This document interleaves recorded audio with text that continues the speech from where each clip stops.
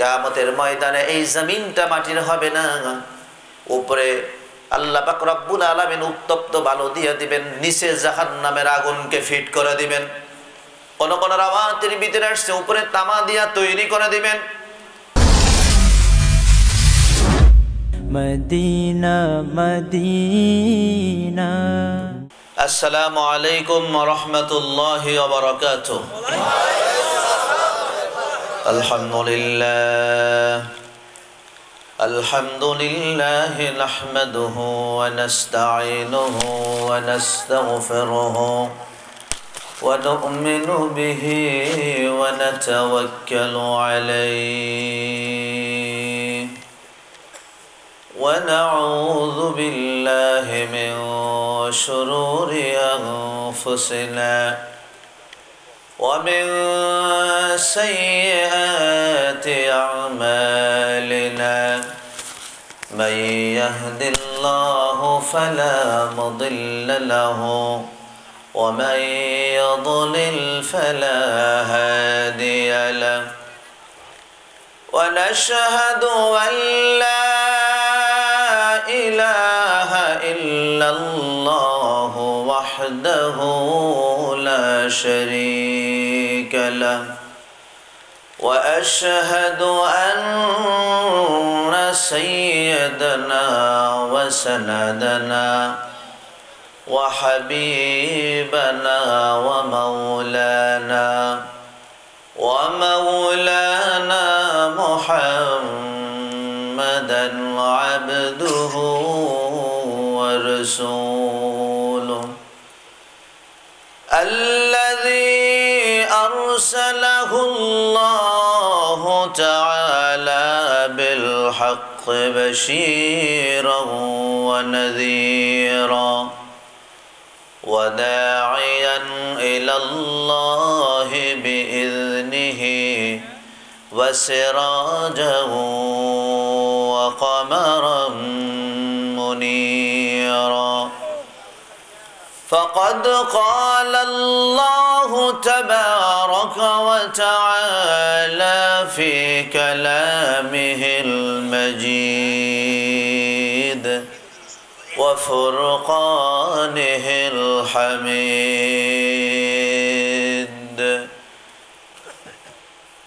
দিন দরদি মুসলিম ভাইরা পর্দার অন্তরালে মা ও বোনেরা আল্লাহ সুবাহ আপনাকে আমাকে এই গভীর রজনী পর্যন্ত কোরআনকে ভালোবেসে, নবীকে ভালোবেসে, আল্লাহকে ভালোবেসে, আল্লাহর জমিনে, আল্লাহর কোরআনের আলোচনা শোনার জন্য আমলের নিয়েছে। আল্লাহ আমাদেরকে এই ময়দানে আসার তফিক এনায়ত করেছেন। এজন্য সকলেই শুক্রিয়া আদায় করি। আলহামদুলিল্লাহ। দেখেন, আমরা এখানে যদি একটা জারিগান দেওয়া হতো, মনে হয় যারা বসা আছি, আমরা হয়তো না বসে থাকলেও যুবক ছেলেরা যতক্ষণ গান হতো ততক্ষণ লাফালাফি শুরু করে দিত। কোরআনের মজলিসে আসলে আর আওয়াজ নাই, একবারে জিমান্না মুরগির মতো জিমায় গেছেন, কেন? এমনও হতে পারে, এই মাহফিল আপনার আমার জিন্দগির শেষ মাহফিল হতে পারে, ঠিক কিনা বলেন? এমনও হতে পারে, এই ভালো কাজ দিয়ে আপনার আমার জীবনের শেষ সমাপ্তি ইতি হতে পারে। আগামীকাল সূর্য ঠিকই দুনিয়ার জমিনে আলো দিবেন। আপনার আমার জীবন থেকে হয়তোবা আপনি আমি ঝরে পড়ে যাব, সূর্যের আলো ঠিকই জমিনে দিয়ে যাবেন। যেই ভালো কাজ জীবনের শেষ মুহূর্ত হয় মনে করতে হবে আমার জীবনটা ধন্য হয়ে গেল। ঠিক কিনা বলেন? মুসলিম আমরা আমরা বীরের জাতি, আমরা কা পুরুষ নয়। ঠিক কিনা বলেন? আমরা যদি এখানে জিমাই, বিধর্মীরা আমাদের মাথার উপরে তো অবশ্যই কাঁঠাল ভেঙে খাবে, স্বাভাবিক। আমরা ঘুমন্ত হৃদয় নিয়ে যদি পড়ে থাকি আমরা যদি এখনও মুসলিম, জাগ্রত না হই, অমরের মতো, আলীর মতো, উসমানের মতো আমাদের ইমানকে যদি মজবুত না করতে পারি, মুসলিম নামের কলঙ্ক যদি হয়ে যায়, মনে রাখতে হবে সেই দিন বেশি দূরে নয়। ঘুমন্ত অবস্থায় আপনাকেও দুনিয়ার জমিন থেকে সরায় দেওয়া হবে। ঠিক কিনা বলেন? হ্যাঁ যে কয়দিন বেঁচে থাকবেন সিংহ পুরুষের মতো বেঁচে থাকতে হবে। যে কয়দিন বেঁচে থাকবেন ইমানকে মজবুত করে ইমানের পরীক্ষা দিয়ে বেঁচে থাকতে হবে। যে কয়দিন বেঁচে থাকবেন ইসলামের জন্য, কোরআনের জন্য, কোরআনের ময়দানে যতটুকু পারা যায় ইমানের শেষ এবং শুরু, সকল কর্মে আমার জীবনকে কাজে লাগাই দিতে হবে। পারব না ইনশাআল্লাহ? কারা কারা পারব এই গভীর রজনীতে? দুই হাত উঁচু করে আল্লাহকে দেখায় দেই। আওয়াজ দে বলে, আল্লাহ আকবর। হয় নাই বলেন, আল্লাহ আকবর। এখনও হয় নাই বলেন, আল্লাহ আকবর। আল্লাহ আমাদেরকে কবুল করে নিক। এই তো আপনার জাগত হয়ে গেছেন কে বলেছে আপনারা ঘুমে আছেন? মারণ একদিন হবেই যখন শহীদি মারণ দিও দয়াময়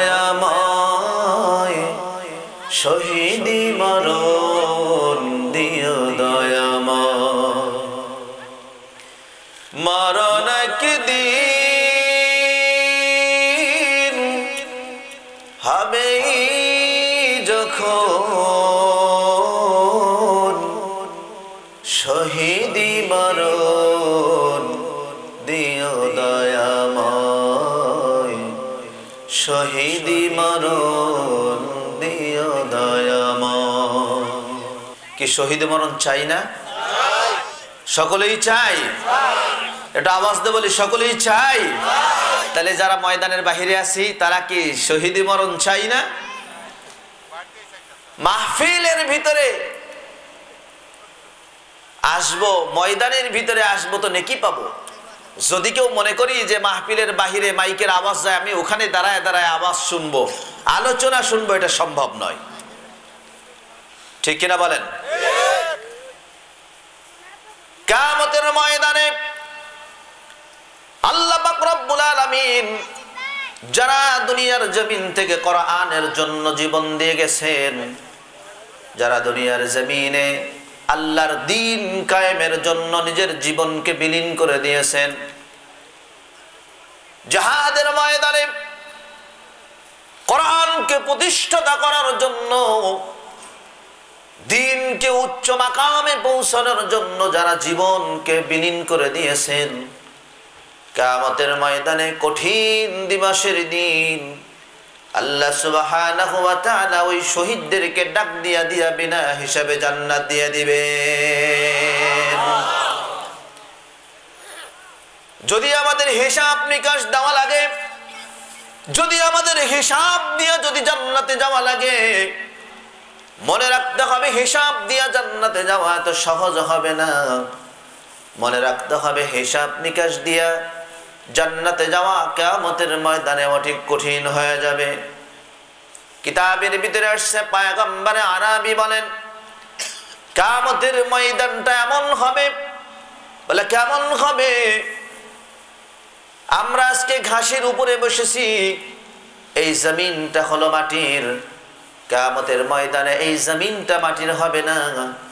উপরে আল্লাহ পাক রব্বুল আলামিন উত্তপ্ত বালু দিয়ে দিবেন, নিচে জাহান নামের আগুনকে ফিট করে দিবেন। কোন কোন রাওয়াতের ভিতরে আসছে, উপরে তামা দিয়া তৈরি করে দিবেন।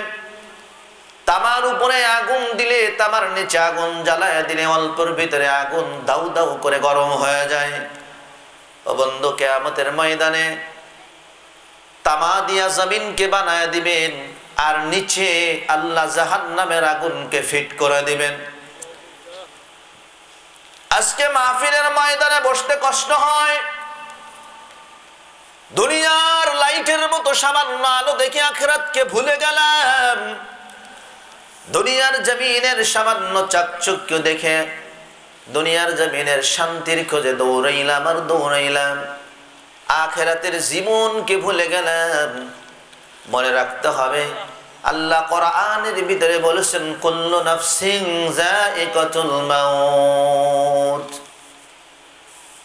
মৃত্যুর সত্য গ্রহণ করতেই হবে, নির্দিষ্ট সময় দেওয়া হবে। এই নির্দিষ্ট সময়ের ভিতরে বান্দা, আমি আল্লাহর আটটা জান্নাত তুমি দুনিয়ার জমিন থেকে কামাই করে নাও। যেই দিন তোমার মৌত হয়ে যাবে, ওই দিন তুমি আমার কাছে বারবার বলতে থাকবা অগমাবুত এই জমিনে আরেকবার সুযোগ করে দাও।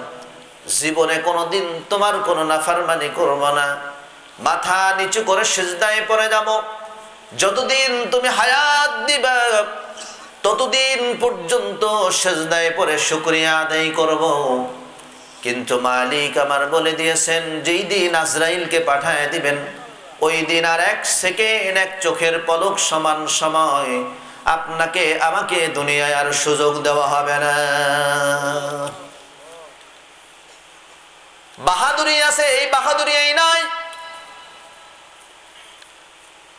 বাহাদুরি দুনিয়ার জমিনের দুই দিন।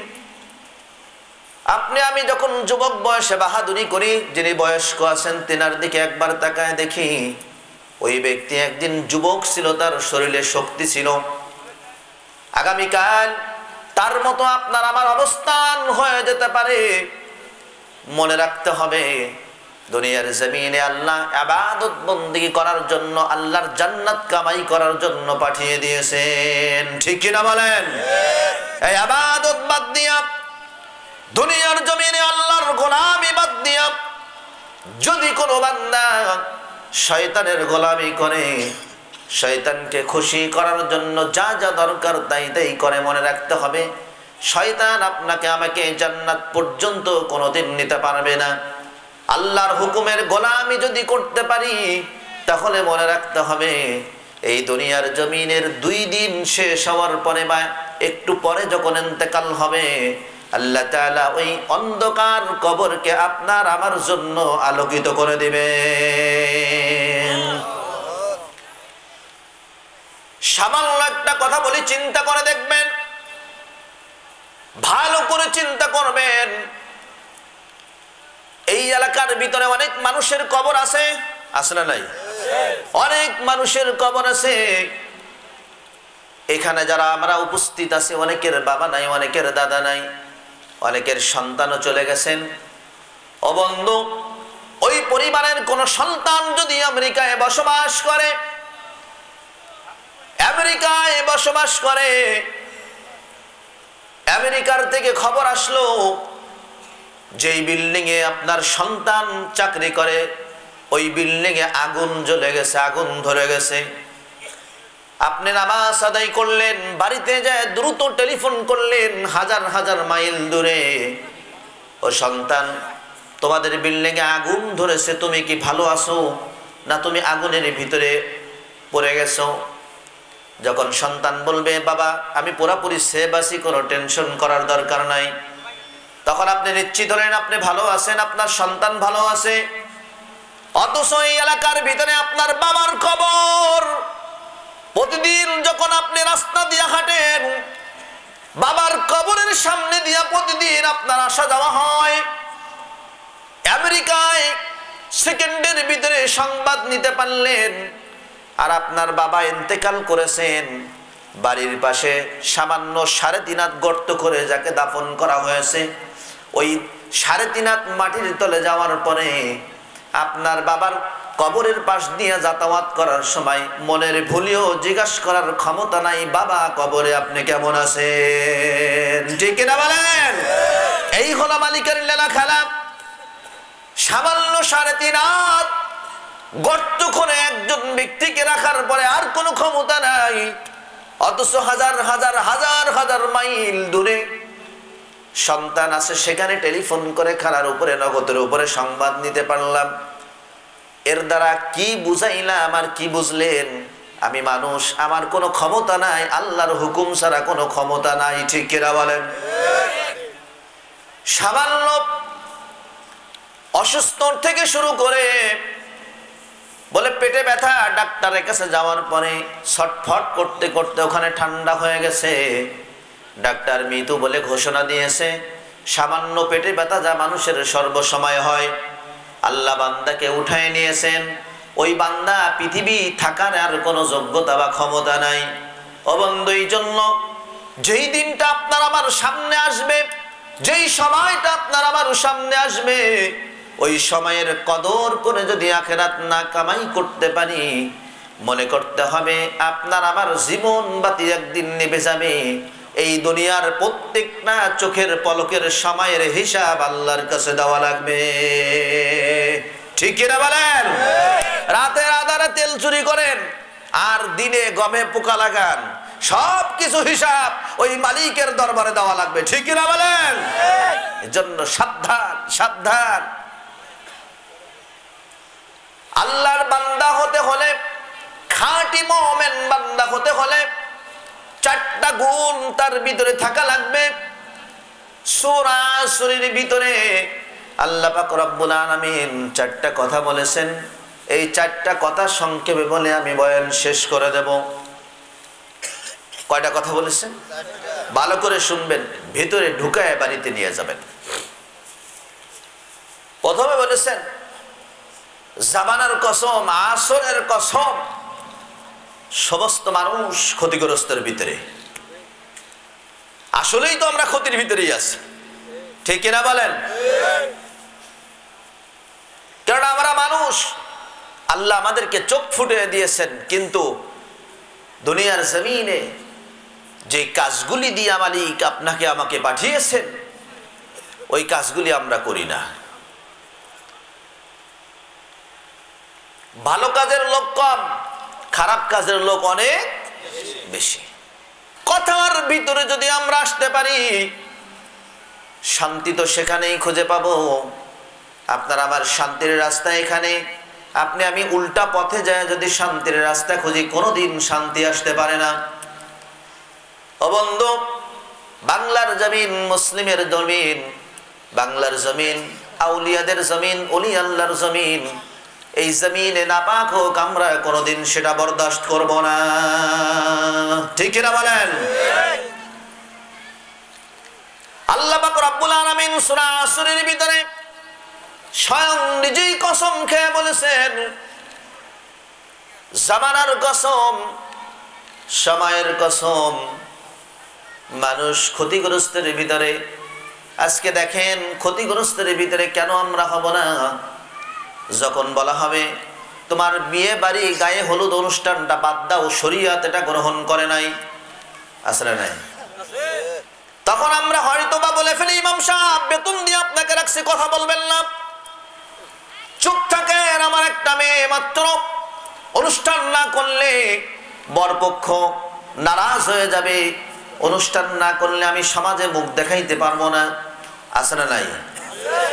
বন্ধ, একের পর এক, একের পর এক ইসলামকে অবমাননা করে, ইসলামকে মাইনাস করে, আপনি, আমি যতই আনন্দ ফুর্তি করি না কেন, আনন্দ ফুর্তির ভিতরে আল্লাহর গজব ছাড়া আর কিছুই আসবে না।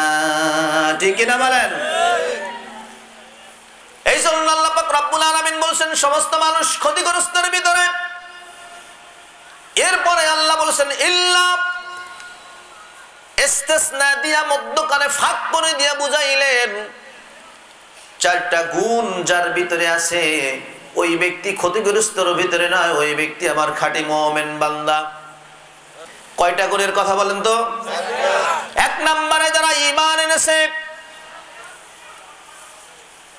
আমরা মুসলমান, মুসলিম এক জিনিস ইমানদার আরেক জিনিস শুধু মুসলমান হইলেই জান্নাত পাওয়া যাবে, এমন কোনো গ্যারান্টি নাই। আপনি মুসলমান হইলেন, আল্লাহর সঙ্গে সেরে কি করলেন, আপনি মুসলমানের জায়গায় থাকলেন না, ঠিক কিনা বলেন? আপনি মুসলমান, বাড়িতে বানর, ভাল্লুক, যত পুতুল আছে, সব পুতুলগুলি আপনি এসে রেখে দিলেন।